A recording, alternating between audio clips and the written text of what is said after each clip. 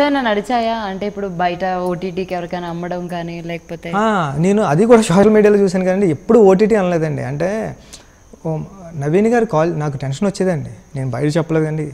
OTT అంటున్నారు పెద్ద పెద్ద హీరోలు సినిమాలు ఇచ్చేస్తున్నారు. మనం ఇవ్వచ్చు ఇవ్వకూడదా? ఇచ్చేస్తంటే మన మన ప్రొడ్యూసర్స్ ఏమంటారు అని టెన్షన్ ఉండేదండి. అమ్మగారు అనేవారు ఏంటో టెన్షన్గా ఉంటున్నావు? అంటే అమ్మ ఈ సినిమా వెళ్ళిపోయింది ఈరోజు ఈ సినిమా వెళ్ళిపోయింది అంటే ఏ లేదు అంత మంచి జరుగుతుంది. అంటే బిగ్ స్క్రీన్ మీద చూడాలని ఉంటుందండి. అందుకే అంటే ఎప్పుడూ కూడా ఎప్పుడూ కూడా ఓటీటీ అన్న థాటే లేదు. థాటే లేదండి. ఐడియా కూడా అసలు ఎప్పుడు ఫోన్లో కూడా చెప్పలేదు. మ్మ్. నువ్వు చేసుకో చూద్దాం అని అండ్ ట్వెల్త్కి ఏమైనా సెంటిమెంట్ ఉందా? ట్వెల్త్కి ఏం సెంటిమెంట్ లేదండి.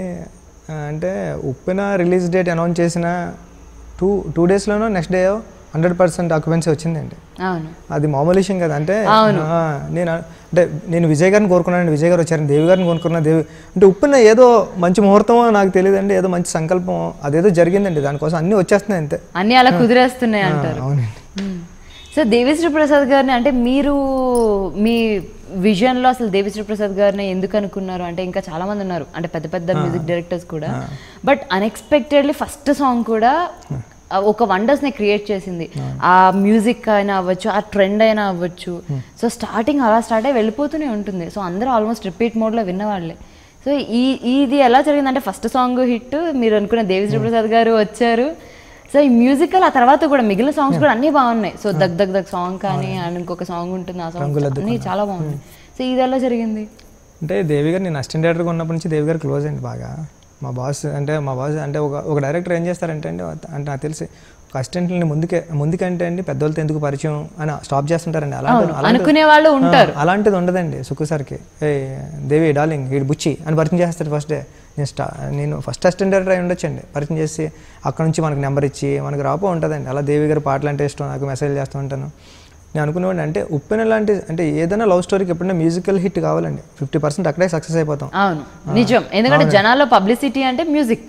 అవునండి. అంతే నేను వెళ్ళి దేవి గారు సుక్కు సార్ చెప్పారండి డార్లింగ్ బుచ్చ వస్తాడు నేరేషన్ ఇస్తాడు ఒక సూపర్ స్టోరీ రాశాడంటే అవునా ఇప్పుడు అంటే నేను నేను తెలుసున్నా సరే ఇప్పుడు ఆయన పెద్ద హీరోలతో సినిమాలు చేస్తాడు నేను కొత్త వైష్ణవ్ కొత్త హీరోయిన్ కొత్త ఏం చేస్తాడు అని అంటే లేదు లేదు డార్లింగ్ విను నువ్వు చాలా బాగుంటుంది. అంటే చెన్నైలో చెన్నై సుక్కు సార్ తీసుకెళ్ళారండి.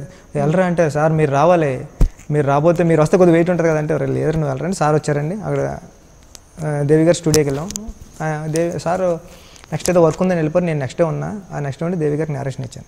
నేరేషన్ ఇస్తే దేవి గారు ఇన్ఫర్మేషన్ అయిన వెంటనే ఫుల్ హ్యాపీ అయిపోయి ఒక్క నిమిషం అంటే సుక్కు గారు ఫోన్ చేస్తాను బుచ్చి గారు అని సార్కు ఫోన్ చేశారండి. సార్కు ఫోన్ చేసి లౌడ్ స్పీకర్ పెట్టారు సుక్కుబాయ్ ఫస్ట్ ఫస్ట్ హాఫ్ అదిరిపోయింది.